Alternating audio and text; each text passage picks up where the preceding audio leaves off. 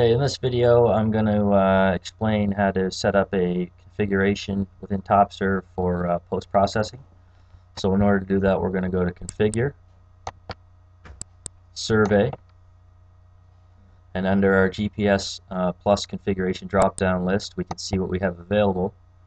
Uh, and in this case I want to add a new configuration. So to do that I'll tap the Edit box to the right and then what I want to do is click on add. Give the configuration a name. I'll call this post-processing. And the type of survey configuration is post-processing static. Then I'll click on next. And the uh, the base manufacturer uh, most most guys are running GAs so uh, it's TopCon and the receiver, mo receiver model here will uh, leave the TopCon generic, set the elevation mask to 10, and under the antenna type here we'll pick HiPer GA slash GB, and the uh, antenna height is default 0. We'll set that when we set up our receivers, and it's a slant measurement. So then we tap next.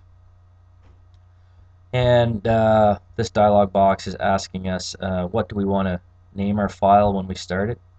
So here I'm going to select user defined from this drop down so you'll be able to call the point whatever you'd like. Uh, we're logging data to the receiver and at whatever logging interval you decide um, you can enter that here. So uh, for this example I'll type in 5.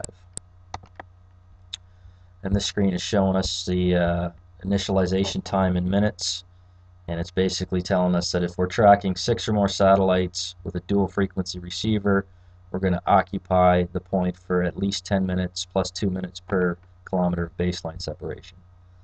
I'll tap next.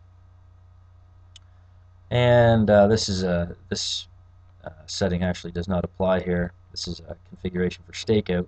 So at this point we can tap finish and we see now that we have a configuration name post-processing in our drop-down list. So if I want to switch back to RTK I can go into my list and pick whatever equipment I'm using, HiPer GA. If I want to do post-processing and use my controller to connect to the receiver to start, stop, and name files, I can click on post-processing. Okay.